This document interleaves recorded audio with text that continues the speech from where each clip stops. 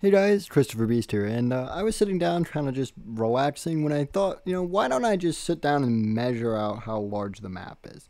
And it's not really hard to do this. All you really got to do is go into Game Master mode and, you know, click the move camera here as far as you can into the ocean until it don't let you move anymore, and then just move forward until you hit a corner.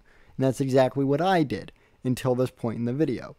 So really my thought process was if you place down a spawn beacon, those are visible on the entire map. You can place down a bunch of these and you'd be able to really cobble together exactly how large the map is just by zooming around it and figuring it all out, which is what I did.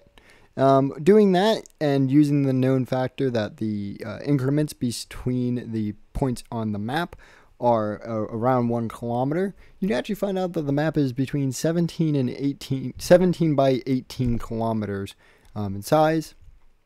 It's pretty big, pretty decently big, but a lot of that area is, of course, just in the water. Uh, it is a little strange how much um, is encapsulated in the water in Arma Reforger.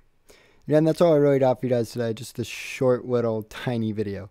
I hope you guys enjoyed your 4th of July, and I hope to see you guys sometime later this week with the next dev blog.